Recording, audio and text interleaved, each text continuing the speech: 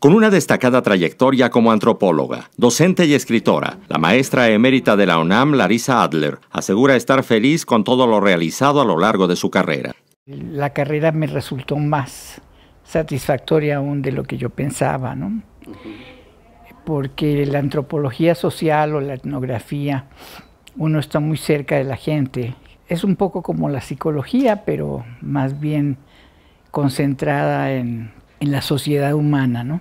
y entonces todo cabe dentro de la antropología. ¿no? Mientras uno tenga curiosidad por el ser humano, pues siempre hay algo que estudiar.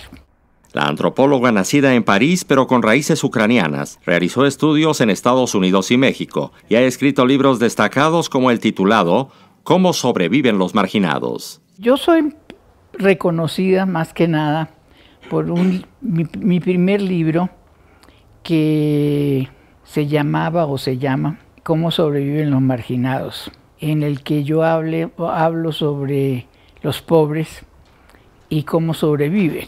Y hasta el día de hoy esto sigue siendo una buena pregunta. Escrito en la década de los 70, el libro que ya pasa las 25 ediciones. Aborda por primera vez las redes sociales, entendidas como relaciones de parentesco y amistad, que se vuelven indispensables para la supervivencia de cualquier hogar o familia en situación de marginalidad. No existía mucho el, concepto de red social.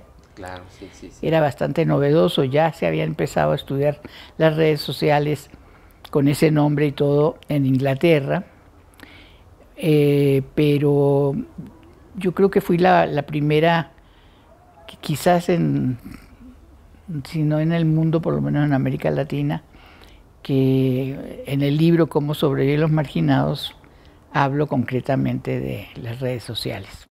La doctora Larissa Adler ha recibido más de 70 reconocimientos y asegura que en la actualidad la antropología en México goza de prestigio y brillantez.